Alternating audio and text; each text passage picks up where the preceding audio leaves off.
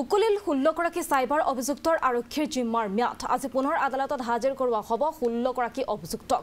আৰু তিনিটা মাষ্টাৰ মাইণ্ডকো হাজিৰ কৰোৱা হ'ব আদালতত। ডেভিড ৰাজন আৰু দিব্যমে বিগত বাৰ দিনত আৰক্ষীক দিছে বহু বিস্ফোৰক তথ্য। আৰু আজি পুনৰ আদালতত হাজিৰ কৰোৱা হ'ব ষোল্লগৰাকী অভিযুক্তক। আজি যিহেতু ম্যাদ উকলিব আৰু তাৰপিছত পুনৰ আদালতত হাজিৰ কৰোৱা হ'ব। ইতিমধ্যে বিস্ফোৰক সেই তথ্য লাভ কৰিছে আৰক্ষীয়ে।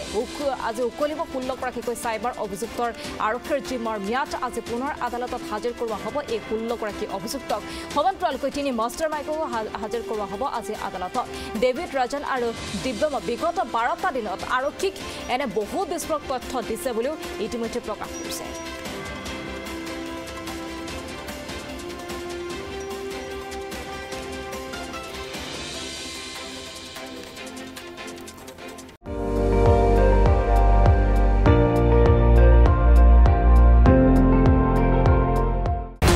আপুনি চাই আছে এন ডি টুৱেণ্টি ফ'ৰ। সৰ্বশ্ৰেষ্ঠ নহয় সৰ্বোত্তমৰ দৌৰ।